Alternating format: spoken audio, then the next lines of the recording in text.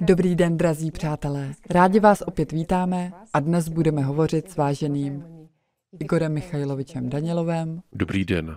Se Sárou. Dobrý den. A Gabrielem. Dobrý den. Dnes bychom s vámi rádi probrali téma, jak vybudovat šťastný vztah.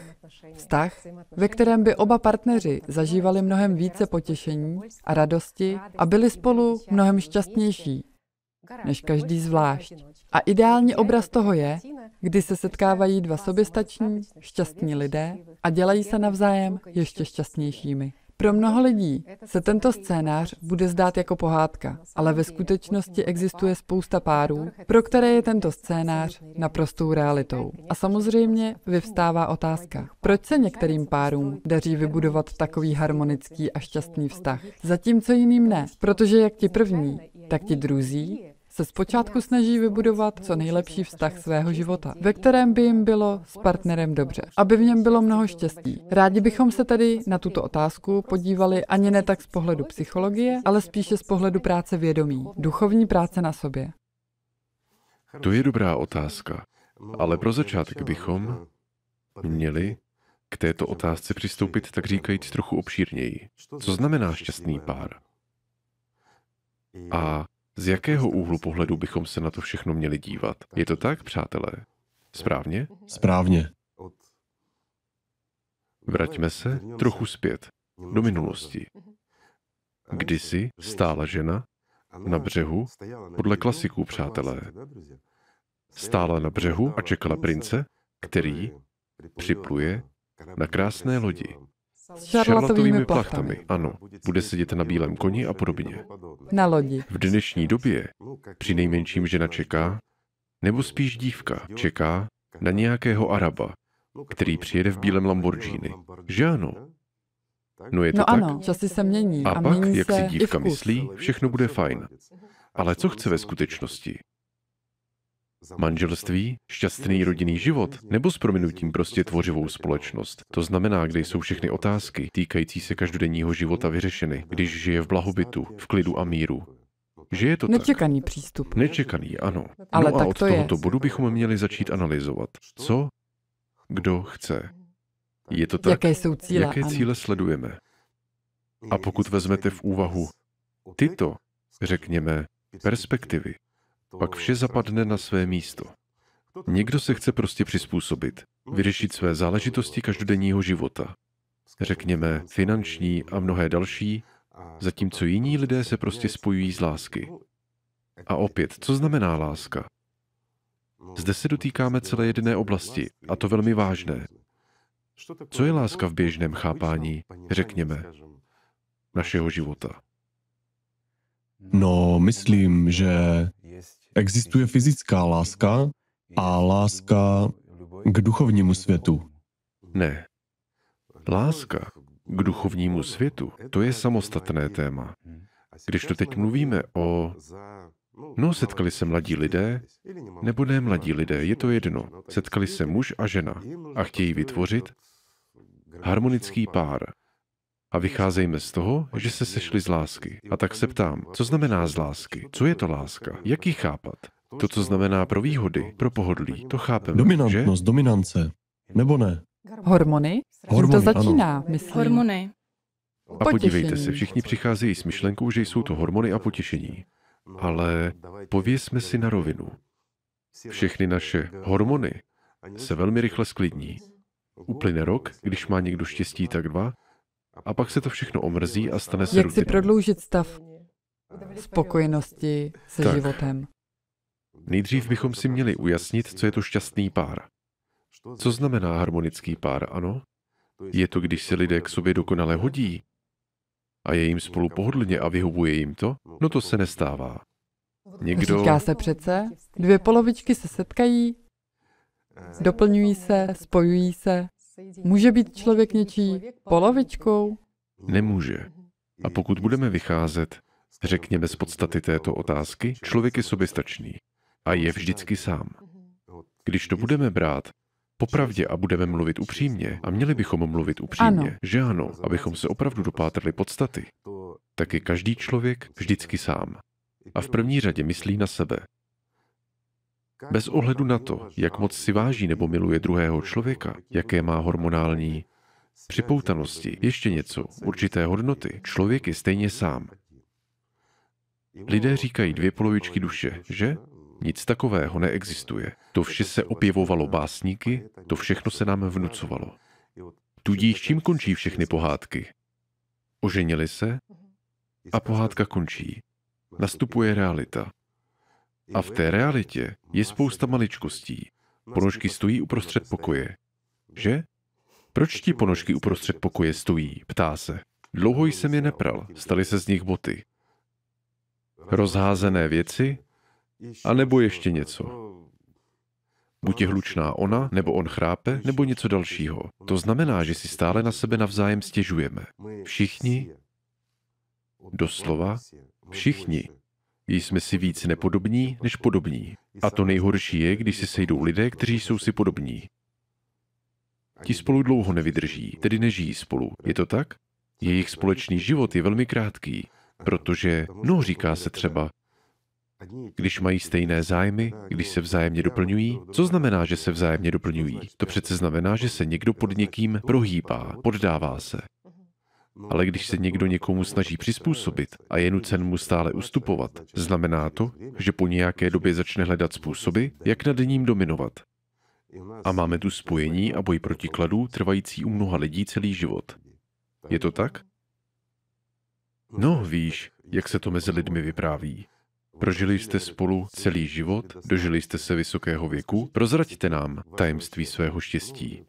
Žena říká, no víte, on mi zničil celé mládí, ale teď už se s ním nechci rozvádět, protože mu za to zničím jeho stáří. No, vidíme to často. Že je to tak. Až si lidé na sebe zvyknou, až se usadí, a pak už bez sebe nemohou žít. Proč? Protože všechno je přesně rozděleno. Jeden mi je nádobí, druhý vaří, jeden vynáší odpadky, druhý dělá ještě něco. Jinými slovy, existuje rozdělení povinností. Je to pohodlné a vyhovuje oběma, ale všechno je to jen na povrchu. Co se však odehrává v hlavách lidí uvnitřních? Jsou šťastní? Cítí se pohodlně? Nebo ne? Jednoduchá otázka. No, když k tomu přistoupíme. Z této strany a rozebereme si rodinné vztahy, tak je to docela vážný problém. Kdy mohou být lidé šťastní? A co je štěstí? Pojďme si to definovat. Co je tedy podle vás štěstí? Myslím, že štěstí znamená vnitřní svobodu. Skvěle. Správně. Štěstí je svoboda. Ano. Je to nezávislost. Je to možnost dělat to, co chceš. Ano, To je opravdu skutečná svoboda. Správně a možnosti. Možnosti uspokojit svá přání. Správně? správně. Je to možné v rodinném životě. Ano, Je to možné, pokud jsou oba partneři uvědomělí. Jestli mají společný cíl a tento cíl zahrnuje Dobře. i práci na sobě, i duchovní rozvoj. Manžel chce jít na ryby a manželka do divadla. Kdo Jeden jde na ryby, druhý do divadla. To je v ideálním případě. Ano, Ale jak se to děje v životě ve skutečnosti? Oba půjdou do divadla. prý jsme jeden celek. Musíme jít někam společně. Tohle říká žena. totéž. Vidíte? Žena říká, jsme jeden celek. Když chci do divadla, tak zapomeň na ryby. A to je pro ženu šťastný rodinný život. Proč? Protože manžel je poslušný, skrocený a ovladatelný. Další věc. Měl by dělat všechno, co žena chce. Pokud nebude dělat to, co po něm žena chce, tak je prostě hloupý. Proč? Protože stejně bude dělat to, co chce žena. No jenom si zbytečně podsuchá nervy, vynervuje se. Správně? Když žena chce jít do divadla, rozumnější muži si řeknou, tak jo, tak do divadla, to už je jedno. Sedí v divadle, sleduje představení, vykazuje zájem a přitom sní o rybaření, chápeš? Je to štěstí nebo ne? No, mnozí řeknou, ovšem, sedíš v divadle se ženou, kterou miluješ, jinak bys někde venku krmil komáry, ryby by nebrali a tak podobně. No, Alespoň záruka klidné budoucnosti. Správně, záruka klidné budoucnosti, protože až se vrátíš domů, nebudou tě sekírovat. A jinak, kdybys šel na ryby, přijdeš domů a doma naštvaná manželka. A konec. Celé potěšení z rybaření okamžitě skazí. Správně? I kdybys chytil třeba trofejní rybu. Přijdeš domů, vidíš kyselý obličej ženy A ani se ti domů nechce, že? Ani k sousedce nepůjdeš. Bude to ještě horší. Je to štěstí. Je to harmonie. Mimo to, opravdu si navzájem rozumíme. Vždyť jde především o to, abychom si navzájem rozuměli, zajímali se o sebe a podporovali se. Ano? Je to tak? Zatímco celý náš rodinný život je založen na různých tajemstvích, na utajování. No, nejdu do hloubky. No, řekněme to tak slušně. Skoro všichni, dokonce když se spolu, jak to říct kulturně, no zkrátka, Tak, jak to je. jak to je, ano, dobře, řeknu to tak, jak to je, Během promiňte. intimity. Ano, během intimity a podobně. On sní o někom, o herečce, o minulosti a tak dále. Ona podobně sní o princi v bílém Lamborghini, který přijel a má zcela jiné vlastnosti. Ale přitom jsou spolu. Lidé nám psali takové příběhy. Říkali, že ano, takové věci existují. Přesto, co se v Řeknu tu ti to děje, takto. z Takové příběhy se vědomí, stávají prakticky u 100% párů. My však jeden druhému lžeme. Říkáme si, že to tak není a tak podobně. A toto naše tajemství, které zůstává naše, nám samotným, opět, během intimity, proč to děláme? Abychom uspokojili své vlastní i partnerovi fyziologické potřeby. Správně? Správně. Uspokojování těch potřeb je vlastně spíše mozková činnost. Správně? Jinými slovy, fyzický kontakt je v tomto případě druhotný. Proč? Vysvětlím. Mnozí se zeptají, jak to? Objasním, přátelé. Vědomí zde hraje mnohem větší roli. Proč? Lidé během spánku často zažívají uspokojení a řekněme, že mnohem lepší než fyzické uspokojení. Otázka. Proč? Kdo převládá? Fyzická stránka nebo vědomí? Celá ta fyzika vede k tomu, aby se vytvořily určité podmínky. Proto, aby se spustil určitý hormonální systém. Ale zatím vším stojí vědomí.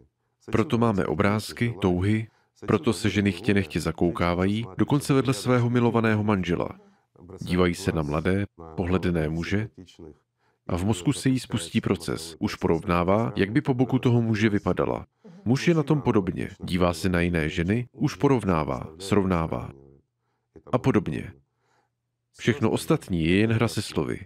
Když vám říkají, že ale ne, já to nikdy neudělám, jenom s tebou a podobně. Je to fyziologie, je to práce vědomí.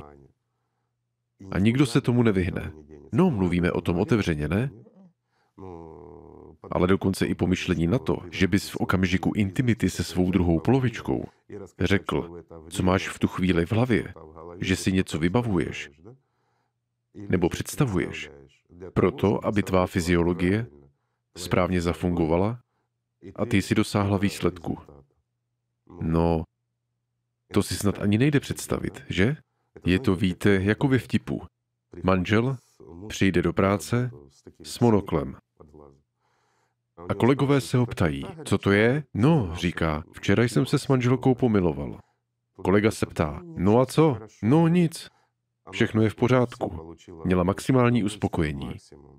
Tak proč máš toho monokla? Ale já jsem jí řekl, Natašo, ty jsi byla skvělá.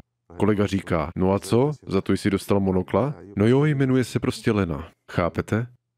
A tyto vtipy pocházejí ze života. Proč? Není tu upřímnost a není pravda. Pokud máme alespoň nějaké tajné, alespoň něco svého tajného a osobního, tak je to satanův nástroj, který tebou bude manipulovat, příteli. A tomu se nikdo nikdy nevyhne. Chápeš? My jsme právě Jakási rozebrali, propast byla to jen malinká, stoprocentně. Stoprocentně. v tom tajném dění. Ovšem. A hned začíná co? Podívejme se na manželské páry. Je to jednota a boj protikladů. Nebo dominance o to být alfou. Není to tak? Někdo se někoho snaží řídit. A na začátku, řekněme, když se sejdou opravdu normální lidé, dostatečně inteligentní, tak se nějak přizpůsobí. A právě tento proces přizpůsobování se, řekněme, rozlišuje lidi inteligentní od těch, kteří inteligentní nejsou. Pokud není dost intelektu Konflikty. na to, aby se přizpůsobili, pak začnou konflikty, hádky, no a manželství se rychle rozpadne. Pokud to oběma vyhovuje, je to pro oba výhodné, přistupují k tomu z takového víte merkantilního prostého hlediska všedního života. Je to pohodlné, všechno jim vyhovuje, tak potřebují co? Přizpůsobit se. Ale kde je v tomto případě slovo o lásce? O té lásce, která tam musí být, když jeden bez druhého nemůžeme dýchat. Ano, jeden bez druhého nemůžeme dýchat. Maximálně však prvních půl roku. Dokud se produkuje oxytocin, takový hormon. Potom, když se narodí děti, u ženy se zpravidla produkuje oxytocin v péči o dítě. Manžel je na druhém místě a už to jede. Že? Pozornost To je už pravda. nejde k druhé polovině. Samozřejmě. A pak už zodpovědnost a potom už není kam jít. A nucené soužití, dokud nedojde k úplné adaptaci. Je to tak? A tady je otázka, Igore Michajloviči.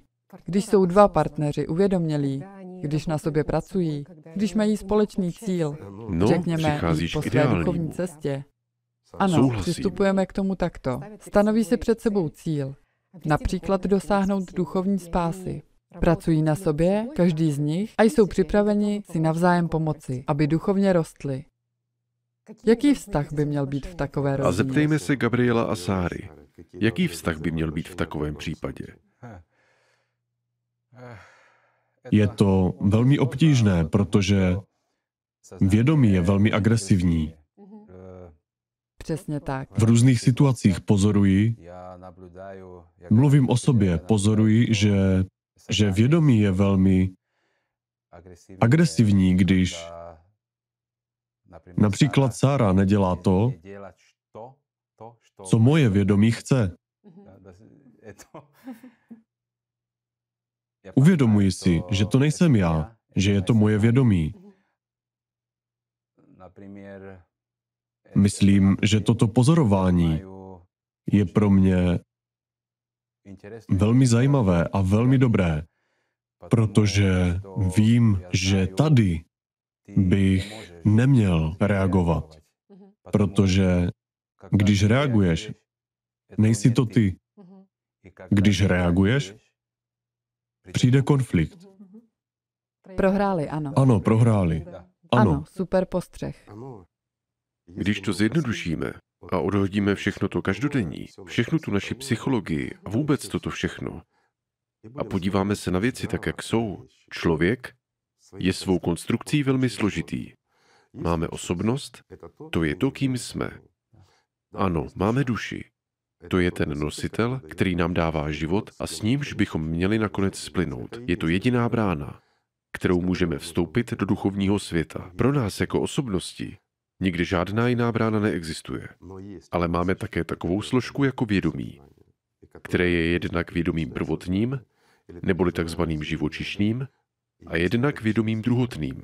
Může to být vysoce intelektuální, abych tak řekl, ale také může být nedostatečně rozvinuté. A vše záleží na nás, jak jsme ho vychovávali, jaké informace jsme mu poskytovali a nakolik jsme se poddávali zájmům tohoto vědomí. Správně? Opět, co je to vědomí? Žije v neuronech našeho mozku?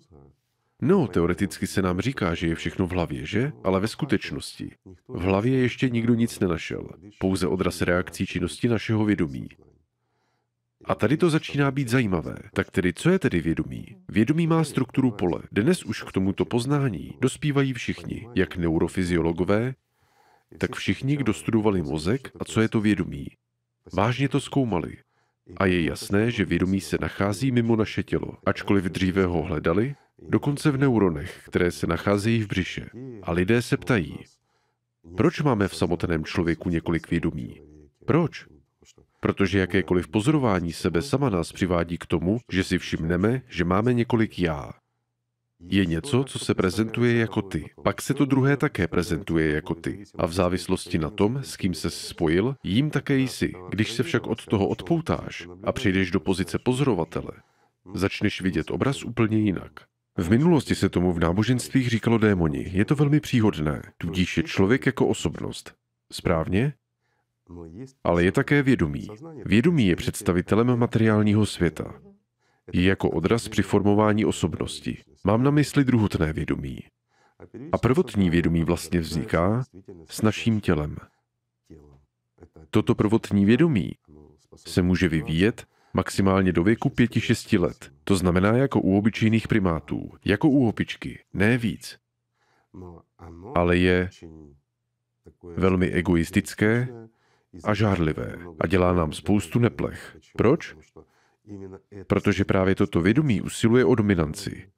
Chce, aby všechno, řekněme, vždycky bylo podle něj a je snadno manipulovatelné druhotným vědomím.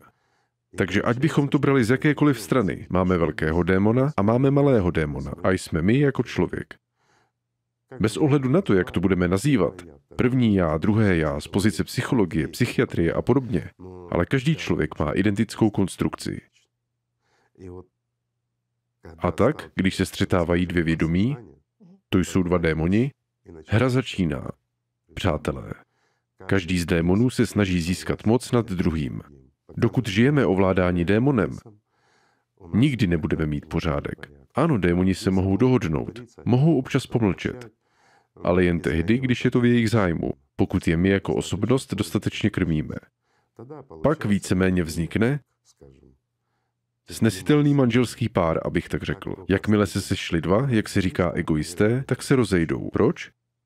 Dva démoni a nikdo nikomu neustupuje. Je třeba si uvědomit, že ve světě zvířat a ve světě stínů je hierarchie to hlavní. Podívejte se na jakýkoliv manželský pár. Lidé žili 50-70 let, na tom nezáleží. Vypadá to, že prožili velmi šťastný život. Celý život chodili, drželi se za ruce, jezdili spolu na ryby, chodili do divadla, měli všechno báječné, vychovali děti a do posledního dechu, jak se říká, drželi při sobě, bok po boku, prostě sen každého. Přesto když se podíváte na vnitřní stránku toho, jak žili, celý život trpěli a trápili se tím, že byli vedle sebe. Proč? Protože nebylo žádné porozumění. Žili spolu, protože jejich démoni se domluvili. Ale zároveň každé zvíře zůstává zvířetem. A vědomí to je zvíře. Vždy se snaží dominovat. A tyto malicherné neschody, nedorozumění, urážky a všechno ostatní, že? Jak mohou v dokonalém manželském páru existovat vzájemné urážky? To není možné.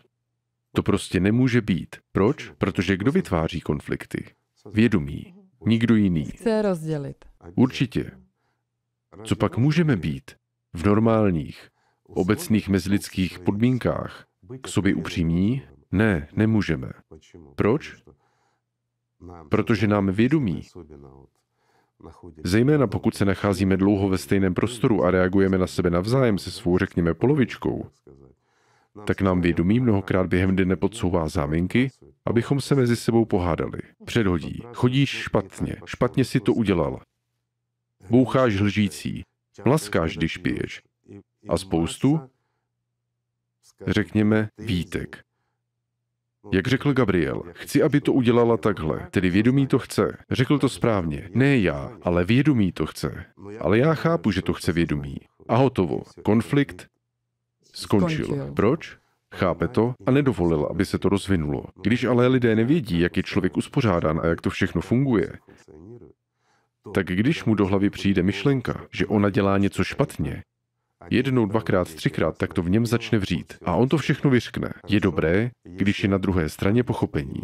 Ale co když je tam pícha? A padla kosa na kámen. Je to tak? Neustálé konflikty, hádky, Zdá se, že jeden bez druhého nemohou žít, ale zároveň se jejich život mění v peklo. Kdo tedy žije místo nich? Právě démoni žijí místo nich. A žijí v tuhle chvíli jako lidé? Jako osobnosti? Ne, nežijí. Jsou v otroctví u dvou démonů. Každý z nich. A v tom je ten smysl. Pokud není pravda, A pravda může být pouze tehdy, když manželský pár jde po duchovní cestě společně. A když je skutečná katarze, opravdová, nikoli umělá, nikoli za účelem manipulace, ale skutečně za účelem poznání, jak funguje vědomí, co démon chce a jak mu vzdorovat. Teprve tehdy všechno zapadne na své místo. Tak tohle je zajímavé, Igore Michajloviči. Ukazuje se, že když se vztahy mezi lidmi budují, řekněme z pozice vědomí, tak je tam vždy hierarchie. A vždy je vědomí, které je v každém člověku samo o sobě negativní. Ono jako GPS navigátor.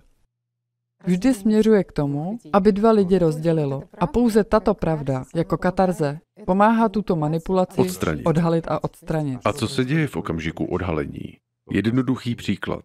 Přestane fungovat toto jeho působení.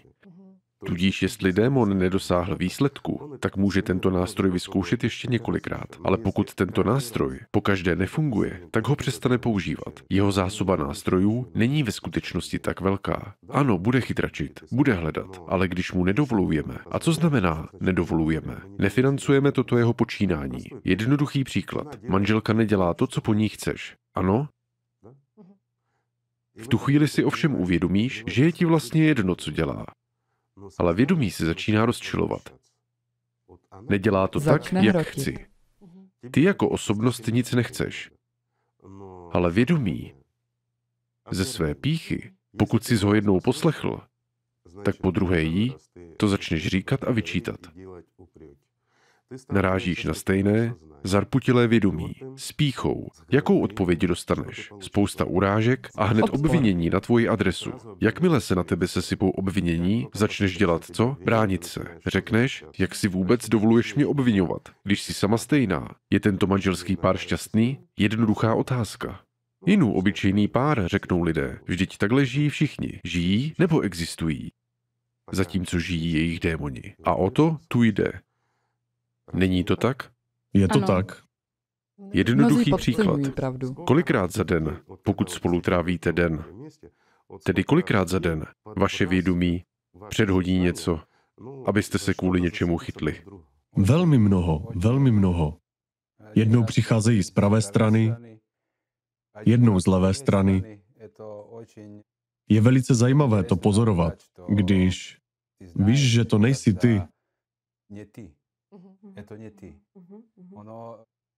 Vědomí je v různých situacích velice, velice agresivní. Správně, Sáro? Ano. Správně. A je dobré, že víte, že konflikty a předhazování jsou diktované pouze vědomím. V tu dobu, kdy ty uvnitř zůstáváš Ano. klidný a indiferentní k této situaci. A takový fenomén je ve skutečnosti příčinou spousty rozvodů. Proč? Dochází k nedorozumění. Ale častokrát, dokonce když lidé nastoupili na duchovní cestu, jdou spolu jako manželský pár a mezi nimi začíná hra, diktovaná démony, kdy démoni začínají říkat, vstoupíte do ráje společně, držíte se Ano, za ruce ano. a podobně. A to se spustí. Společné provádění praktik a podobně. Nějaká společná hledání, až je jim na této jejich duchovní půdě již na zvracení. A oni se rozejdou. No co, není to tak? Je. Na duchovní cestě je manipulace ze strany démona také obrovská. Proč? Začne vykládat lidem něco jako jste dvě poloviny jedné duše a společně vstoupíte do ráje. Ve skutečnosti si každý člověk dobře uvědomuje a ví, že je individuální. Každý jde svou vlastní cestou. Nezáleží na tom, zda jdete se svou drahou polovičkou nebo se skupinou lidí. Každý jde sám za sebe. A je to individuální cesta. Ale je veselější jít spolu. A v tom je ten smysl. Studovat práci vědomí. Ano. Samozřejmě, Ano, bez ano, ano. studování práce vědomí, bez pochopení nástrah démona. A co to znamená studovat? Práci vědomí. To je právě studovat, jak s tebou démon manipuluje. A je to právě to, co ve všech dobách vysvětlovali všichni svatí, skuteční svatí. Jak bojovali s démony a podobně. Ale potom se to všechno překrucovalo. A mnozí fantazírují, aniž by chápali, o čem mluví. Začínají vyprávět, že takřka málem skutečně bojují proti nějakým démonům, kteří k ním přicházejí a jak je spalují ohněm a tak dále. No, víte, takové náboženské fantazie jsou jen pro hlupáky. Jinak to neřekneš. Ve skutečnosti však svatí, kteří toho dosáhli, čelili vlastnímu Armagedonu ve své hlavě. I když upřímně řečeno, ani ne v hlavě, ale mimo ní. Pokud mluvíme o práci na sobě, o katarzi, která může být mezi manželským párem, když oba partneři jdou duchovní cestou, o čem by se vlastně mělo mluvit? O věcech týkajících se každodenních záležitostí? Co přesně by se mělo A odhalovat? tohle je ta nejdůležitější věc proto, aby rodina byla skutečně plnohodnotná a harmonická. První, co potřebujete pochopit, je, že každý z vás je individuum, že usilujete o duchovní rozvoj a že jste spokojeni jeden s druhým. A abyste vyloučili jakoukoliv manipulaci, řekněme, ze strany vědomí, a poznali, jak vědomí funguje, první věc, kterou musíte pochopit, zejména během katarze, je, že je to právě démon, a ne vy jako osobnost, kdo vám i vašemu partnerovi vhazuje do hlavy přání nebo nedorozumění. Ano. A ve chvíli, kdy to všechno řeknete nahlas, tak mluvíte o tom, jak působí Satan, jak se vás snaží rozdělit, přátelé, a ne o tom, co člověk vlastně chce. A zde je velmi důležitý bod. Pokud jeden z partnerů tento proces nechápe, pak představ si, přijde myšlenka, namířená na rozdělení. To je jedno, třeba partnera napomenout a člověk to řekne, ale katarze to je jen a pouze pravda o tom, co vnucuje démon. A zde člověk, Jak jsi vpustil takovou myšlenku? člověk říká, právě mi vědomí můj běsík podsouvá, abych tě napomenul ohledně tvých tkaniček. Pokud partnerka chápe, že to dělá vědomí, aby je rozdělilo, pak je jí to jasné. Tudíž z nějakého důvodu se chytilo mých tkaniček. No to jsou technické otázky, ty teď nebudeme rozebírat. Nevnímá to vše s odporem. Pokud úplně nechápe, že je to katarze a nakolik jsou tyto maličkosti důležité, tak první, co jí napadne, je, podívej na ty svoje. No není to Je. tak. Čili strucu a přímo hned. Nebo začne manipulace. To se také často stává a je to hrozné. Když je obrovská spousta připomínek, když se někdo, tedy jeden z partnerů, pod zástěrou duchovna a toho, co mu říká démon, snaží z druhého partnera udělat svého otroka. To už vypovídá o tom, že se dotyčný nechystá do duchovního světa. Chystá se stát dominantní suposobností a připravuje si pro sebe otroka. To je pravda, kterou musíte vědět. A katarze je upřímnost, naprostá upřímnost, ale s pochopením jeden druhého. Ano. Když nedej bože vznikne nedorozumění, tak se rodina rozpadne. Proč? Protože to, co každému během dne přichází do hlavy, může zničit každou, i tu sebepevnější rodinu. Je to tak. Ale my to zamlčujeme, nevyslovujeme to nahlas a tak si stále tento druh manipulace ponecháváme. No mnozí řeknou, tak jak se tedy chovat na duchovní cestě? Prostě neposlouchat ho a odehnat ho co nejdál. A to je vše. Pak ti nebude předhazovat nesmysly a to, co potřebuješ, to uvidíš sám. Je to vlastně velmi jednoduché. To, když jdeš sám. A když jdete dva spolu, pravda tu hraje obrovskou roli. Takže katarze je důležitá. A je důležité všechno. Ale když oba pochopíte, ještě jednou to zdůrazním, že je to práce vědomí, to znamená, že je to démon, kdo vám vnucuje tyhle šablony. A když je říkáme nahlas, oslabujeme tím démona. Stává se však mazanějším, zůstane mu méně nástrojů, ale bude se je snažit používat rafinovaněji. Přesněji. To je také taková zkouška pevnosti vztahu, abych tak řekl. Ale víte, řekli jste velmi důležitou věc, že je obvyklá věc, když člověk slyší nejen pozitivní myšlenky o svém partnerovi, ale že v jeho hlavě také znějí myšlenky od systému, který je vždy zaměřen na rozdělení a funguje tak. Vždy. Jestli tu myšlenku uslyšel jeden partner, tak systém stoprocentně nadhodí i druhému Určitě. partnerovi něco směřujícího k rozdělení. A zde je to zajímavé, je- když je úplná katarze, tak se u manželských párů, které jsou spolu dlouho, často stává, že jeden začne ozvučovat myšlenky a druhý to zachytí a pokračuje. Proč? Protože myšlenky přicházejí synchronizovaně. Oni žijí spolu, řekněme, jejich vědomí mající struktury pole, nebo jejich energetické konstrukce, jak bychom to nazvali. Dobrá, mluvme jazykem chemie. Jejich feromony se smíchají. Ano. Lidé se navzájem mísí, mentálně se prolínají a cítí jeden druhého daleko více, než se nám zdá, než vůbec dokážeme pochopit, dokonce i z pohledu moderní fyziky. Jakmile něco přijde jednomu partnerovi, určitě se to odrazí na druhém. Stává se to velmi často. Například člověk normálně sedí, dívá se na televizi, nic netuší, ale do hlavy mu začnou chodit obrázky. Může na ně vůbec nezareagovat, ale přišli mu. A partner se v tu chvíli sehnul pro pantofle a pomyslel si, kde mám pantofle? A tomu přijde myšlenka, že leží tam a chrápe. Chrápeš. S negativním zaměřením. A nebo, že někam mi přesunul pantofle. A negativita už začala. Stačí nechat tuto malou negativitu proklouznout, tak přijde další, větší. A vše bude pokračovat směrem k rozdělení a k utlačování, tedy k manipulaci. Je to právě vědomí, které nutí lidi, aby jeden druhým manipulovali.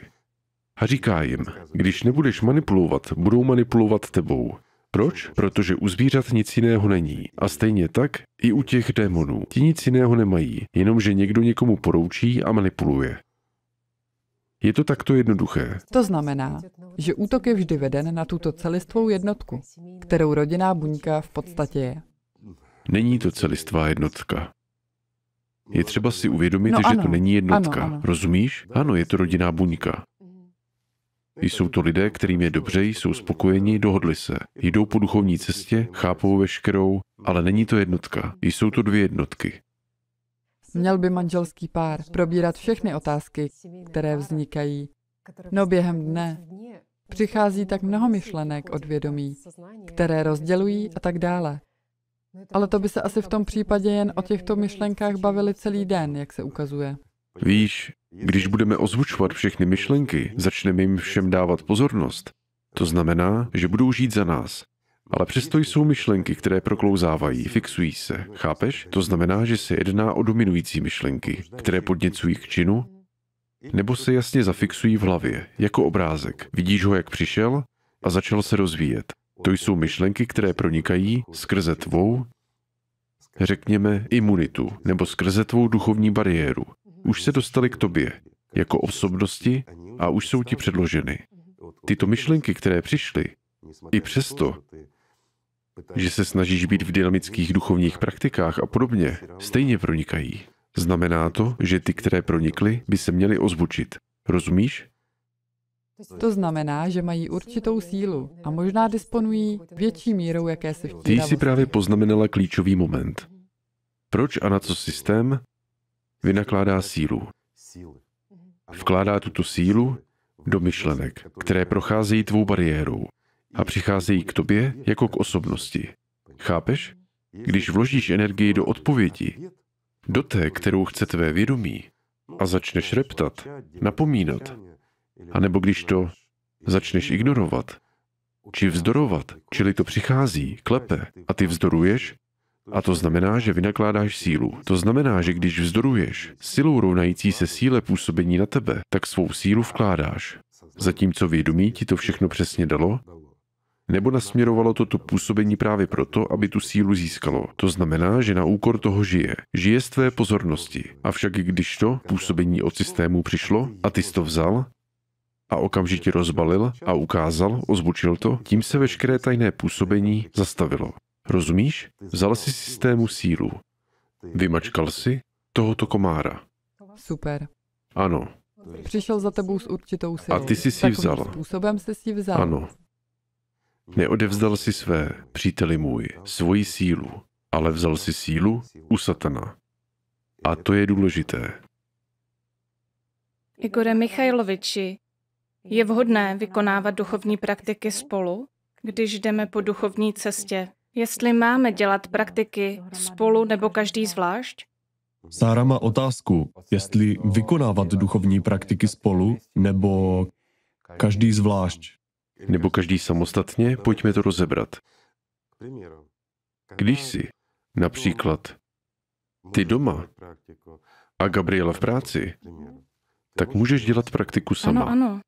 Ale když jste spolu, on šel dělat praktiku a ty například měješ nádobí, Je lepší si sednout a udělat praktiku spolu. Proč? Co myslíš? Posílit jeden druhého. Nepřekážet. Nepřekážet jeden druhému. Proč je lepší, že když já dělám praktiku, že si sedneš a děláme ji spolu? Že proč je to, proč si myslíš, že je to lepší? Protože je silnější. Silnější, jak to bude? Silnější, silnější praktika, ano. No, spolu je to silnější a ještě je to společně klidnější. Proč? Vysvětlím. Dejme tomu, že Gabriel sedí v praktice a ty se rozhodla vytřít podlahu. Chodíš a rachotíš k belíkem, čímž ho rozptiluješ a napadají ho myšlenky, že neděláš dobře. Mezitím tě napadne, že jsi nucena drhnout podlahu, zatímco on jakoby sedí v praktice a podřimuje. Chápeš? To vědomí o tom bude vyprávět. Ať chceš nebo ne, démoni začnou manipulovat. A to je důležitý moment. Ale když máte určitý rozvrh a víte, řekněme, že si v 8 hodin večer, vyhradíte půl hodiny na to, abyste prostě společně vykonali praktiku. A po skončení praktiky se bavíte o tom, jaký byl výsledek, jak to kdo z vás udělal, jestli vám myšlenky překážely a rozptilovaly, nebo se někomu podařilo od těch myšlenek nějakým způsobem odpoutat, tak se podělí o to, jak to udělal a vy se vzájemně posilujete. Je opravdu nutné, Igore Michajloviči, se po vykonání praktik podělit o to, jaká praktika byla, Je to nebo potřeba. ne? Je to potřeba, ano. Je. Ano. Když to děláte spolu, Ano. to je také velice důležitý okamžik. Komu se to jak daří. Vždyť říkám, co je pro koho složité, na jaké etapy se s něčím setkáváte, co vás odvádí. Proč? Vždycky, my vždycky máme, ještě jednou zopakuji. Někdo Ano. postupuje rychleji v jedné věci, jiný postupuje rychleji v něčem jiném. To je normální. Takže když si pokročil, udělal krok vpřed, už napovídáš, kde je kluský kámen, na který by se nemělo šlapat. Je lepší šlápnout na tvrdší povrch, abys neuklouznul. Právě tyto momenty jsou důležité. Proč? Protože duchovní cesta zahrnuje spoustu nuancí, nejsou na ní maličkosti. A zde je na nejvíc důležité odpoutat se nejen od myšlenek, od moci satana, ale i od sebe menšího zaváhání. Jinak se nic nepodaří. A je velmi důležité, aby ten, kdo jako první obdrží tuto duchovní odezvu, pomohl v ní i druhému. Proč? Není možné to nepocítit. Když skutečně dojde k duchovní odezvě, Ano. naplňuje to. A to je důležité. A je důležité, aby ten druhý, když cítí, že se mu najednou v duchovní praktice aktivuje vědomí a démon se začne bouřit, tak především zejména v prvních krocích duchovního rozvoje je třeba pochopit, že když se v tobě najednou bouří démon, znamená to, že člověk, který sedí vedle, se dostal do kontaktu s duchovním světem. Protože tvůj démon se začal bouřit. A to je dobře. A tady není třeba se lekat. Přepínat se a dávat pozornost démonovi. Ale naopak by se směl hlouběji soustředit právě na duchovní interakci. Pak je to nádherné. Děkuji. Prosím. Další věc, která je neméně důležitá. Když jeden z vás začne postupovat vpřed, nezáleží na tom, kdo. Například jste začali cestu společně a zde jeden z vás může postupovat vpřed a podařovat se do praktik hlouběji a jasněji, zatímco druhý ho může dohnat a předehnat. A takovéto soutěžení závisí opět na čem? Na tom, co člověk dělal během dne. Pokud se hodně rozptiloval, bude jeho praktika slabší. Pokud má člověk méně zkušeností se skutečným ponořením na úrovni pocitů, může být praktika slabší, zatímco pro jiného člověka může být silnější. Když se však někdo posune kupředu, Vytváří podmínky pro to, aby se člověk, který je vedle něj, posunul také. Ve skupinové práci je to velmi důležité. A když jste dva, víte, jako v křesťanství. Když Ježíš řekl, když jste dva, jsem s vámi. Takže ve skutečnosti platí, že čím více lásky, tím větší je účinek. Když láska obklopuje a zahrnuje všechno kolem, skutečně se praktika stává lepší a čistší. Proto když se budete navzájem posilovat a pomáhat si, dosáhnete toho rychleji a více. Ale musíte pochopit, že každý jde svou vlastní cestou. Ano. A v žádném případě byste neměli nikoho obvinovat, manipulovat nebo tlačit. To znamená, že nesmíte sloužit satanovi. Když se postavíte na duchovní cestu, pak se vše podaří. Všechno bude správně. Správně. A čím vlastně všechno začíná? Láskou k sobě navzájem. Ano. Takže přátelé, pojďme prostě milovat jeden druhého. Děkujeme, že jste byli Moc s krát námi. děkuji. Děkuji. Děkuji. Děkuji vám, přátelé.